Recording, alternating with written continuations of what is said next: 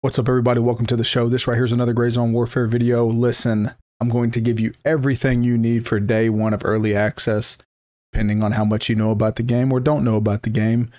Everything of how you need to approach the game will be in this video. So please stick around for the whole video. Let's dial it in.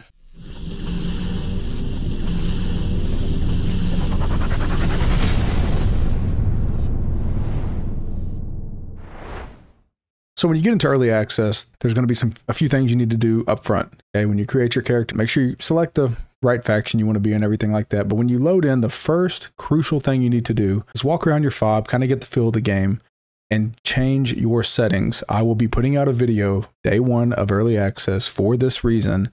Everybody can kind of get their optimal settings. You know, I'm going to explain everything that you need because in this type of game, especially with the graphics and everything that's going on with UE5 and all that stuff, you're going to want to have the optimal settings. Okay. So everybody's rig is a little bit different, but the settings video that I put out should be fine, you know, overall.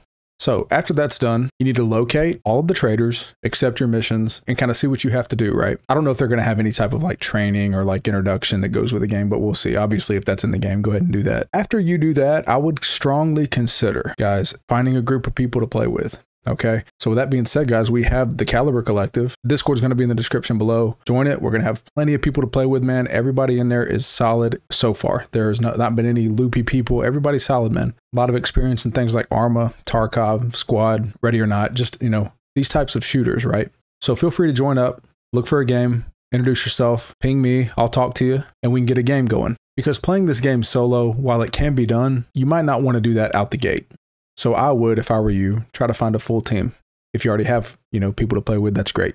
So after you get your group, kind of strategize, see who's going to be running what, what type of gear, loadout, everything you need for the mission. Look at your map or whatever resources they have to make sure you're optimized to do the mission and complete the mission in the best way possible. After that, you're going to need to decide if you're going to go on foot or catch a ride with a little bird, right? So depending on where you're going, might be able to hoof it on foot, be a little quieter, or fly. So decide who's going to do that, call it in, and go. So I want to say this. Mission completion is the absolute key for leveling in this game. All right.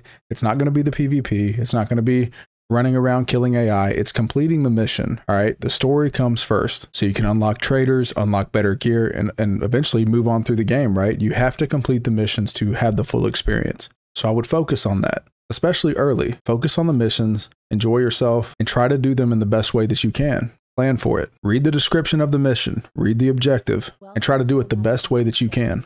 Now, the PvP, right? Encountering other PMC groups in the field. Their slogan is every move matters, right? When you see another player, okay, or group of players, you need to strongly consider where you're at in your mission. Running into a PvP fight and not thinking logically about what's best, whether you want to extract your food, your water, your energy. You know, ha- have you got the stuff you need for the mission done? Have you got some of it done? What's the status of your teammates? All these things need to be taken into place. It's not like, you know, Escape from Tarkov or these other games where it's kind of like every man for himself. It's you're a unit. So you need to strongly consider your approach when you do see a PvP opportunity. Strongly consider how you handle it. Don't just think of the first thing. That type of thinking is going to be the skill gap in this game. It's not going to really be so much the gunplay. That's that's important always, but your decision making in real time will be the most important thing. So, out the gate, day one, really slow it down and really think about how you're going to get a mission complete, depending on what type of adversaries you run into. Now, the last thing, when you extract, clear the LZ, do a perimeter check, wide loops, good angles. Make sure you're safe to extract, okay? That's the basic loop, guys. I know a lot of people that already know a lot about Gray Zone probably found this video, you know, not that informative, but a lot of people are going to come into this game as early access comes out and this video will help them, okay? That's the basic loop of what happens. Everything else we're going to have to learn as it comes, right? But I hope you enjoyed it. I hope you learned something from it and I hope you take it and apply it. That's all I have for you guys. And remember, join the Discord below. We'll be glad to have you. Make sure y'all check me out on Twitch. I'll be streaming this game as much as I can. But other than that, guys, I appreciate you making it this far. That's all I have for you, and I'll catch you on the next video. Thank you.